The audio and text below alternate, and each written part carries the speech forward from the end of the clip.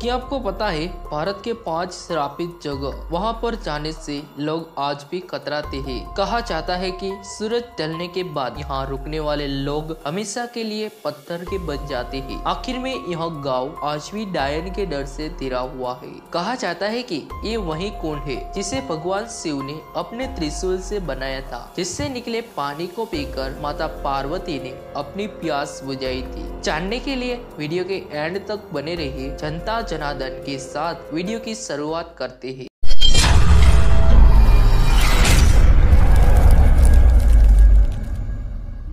दोस्तों, दुनिया में बहुत से देश से जहाँ भूत प्रेत, बुरी शक्तियाँ और आत्माओं में यकीन करते हैं, कुछ के लिए यह महज अंधविश्वास होता है। वहीं कुछ लोगों के लिए ये बातें काल्पनिक लगती है। भारत भी ऐसा ही देश है जहाँ ऐसी चीज़ों पर लोग आसानी से यकीन कर लेते हैं। हमारे यहाँ बहुत सी जगह श्रापित मान ली जाती है और पुरानी कहानियों से जोड़कर उन्हें देखा जाता है। आज हम आपको भारत की ऐसे ही पाँच श्रापित जगहों के बारे में बताने जा रहे हैं। जहाँ सालों से लोग जाने से घबराते आए हैं, क्योंकि उन्हें डर रहता है कि वहाँ का श्राप उनके ऊपर न लग जाए। नंबर वन रूपकुंड झील, दोस्तों, रूपकुंड झील उत्तराखंड के चमोली ज़िले में स्थित है। यह एक ग्लेशियर झील है, जो गढ़वाल हिमालय में पाँच मीटर की ऊंचाई पर है। साल 1942 में नंदा देवी शिकार आरक्षण के रेंजर एच के माधवल ने इस झील में सैकड़ों नर कंकाल देखे थे।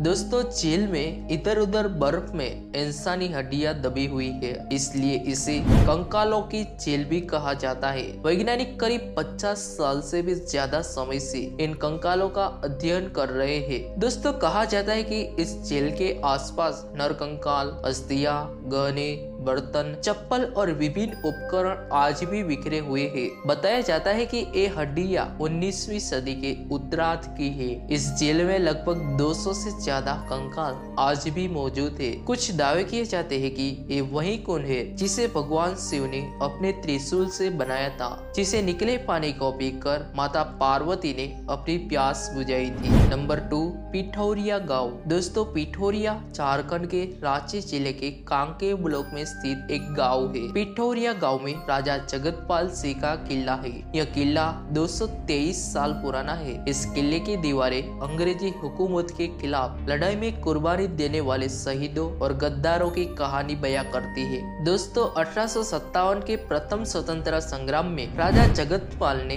क्रांतिकारियों को रोकने के लिए पिठोरिया घाटी की घेराबंदी की थी। वे क्रांतिकारियों की हर गतिविधि की जानकारी अंग्रेज़ों तक पहुंचाते थे। पौराणिक कथाओं के मुताबिक प्रथम नागवंशी राजा मणिमुकुट राय ने पिठोरिया के पास सूर्य प्रतिमा की स्थापना की थी। मान्यता है कि यह एक स्थापित किला है। यहाँ हर साल बिजली गिरती है। किले के खंडर में तबील होने की वजह भी बिजली गिरना ही बताई जाती है। इस किले में कभी सौ कमरे हुआ करते थे, लेकिन अब एक भी कमरा नहीं बचा है। नंबर थ्री, गंधर्वपुरी गाँव। दोस्तों, गंधर्वपुरी गाँव भारत के बौद्ध काल के जैन इतिहास का गवाह है। दोस्तों, पहले इस गाँव का नाम चंपावती था। चंपावती के पुत्र गंधर्व सेन के नाम पर बाद में इसका नाम गंधर्वपुरी हो गया। गंधर्व सेन शकों को हराने वाले राजा थे। बाद में इस साम्राज्य के राजा बने। विक्रमादित्य ने उज्जैन को राज्य की राजधानी बना दिया।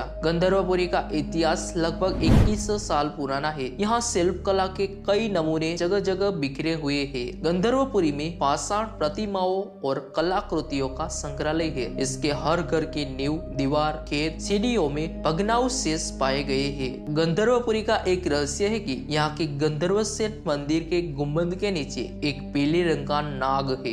इस नाग को इच्छाधारी नाग कहा जाता है और इसके चारों ओर कई चूहे परिक्रमा करते हैं। हालाँकि आज तक किसी को यह रहस्य पता नहीं चल पाया है। नंबर फोर किराडू मंदिर। दोस्तों, किराडू मंदिर भगवान शिव का मंदिर है। यह मंदिर सदियों पुराना है और यहाँ ग्यारहवीं शताब्दी के शिलालेख अभी भी मौजूद है। इसे राजस्थान का खजुराहो भी कहा जाता है। दोस्तों, इस मंदिर को ग्यारहवीं शताब्दी में बनाया गया था। इतिहासकारों के मुताबिक इसका निर्माण परमार वंश के राजा दुलल साल राज और उनके वंशजों ने किया था। इस मंदिर में पाँच मंदिर है, जिनमें से केवल विष्णु मंदिर और सोमेश्वर मंदिर ही ठीक हालत में है। किराडू मंदिर और उदयपुर के अंबिका मंदिर की स्थापत्य शैली मध्य प्रदेश के खजुराहो मंदिर की शैली से ज़्यादा मिलती जुलती है। इसलिए किराडू मंदिर को राजस्थान का खजुराहो कहा जाता है। किराडू मंदिर थार रेगिस्तान की भारत पाकिस्तान सीमा के पास स्थित है। यह सोलंकी शैली में बना है और इसे स्थापित माना जाता है। दोस्तों, यह मंदिर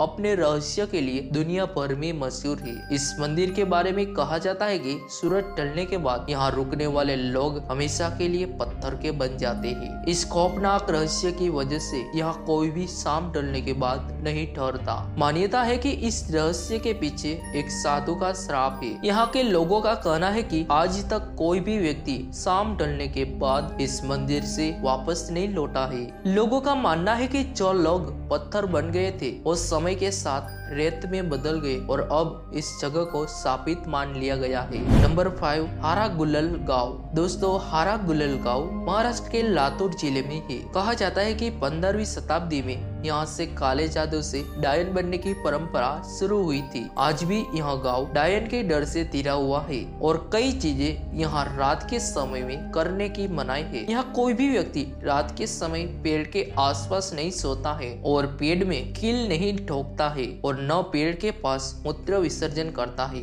माना जाता है कि ऐसी गलती करने पर डायन बुरा हाल कर देती है। दोस्तों, इस वीडियो के ज़रिए भारत के ऐसे टॉप फाइव श्रापित जगह के बारे में बताया है। इस वीडियो के बारे में आपकी क्या राय है? कमेंट सेक्शन में ज़रूर लिखे और हाँ चैनल पे नए हो तो सब्सक्राइब करके बेल आइकन को प्रेस कर लीजिए। मिलते हैं एक नए टॉपिक्स के साथ। तब तक के लिए जय हिंद।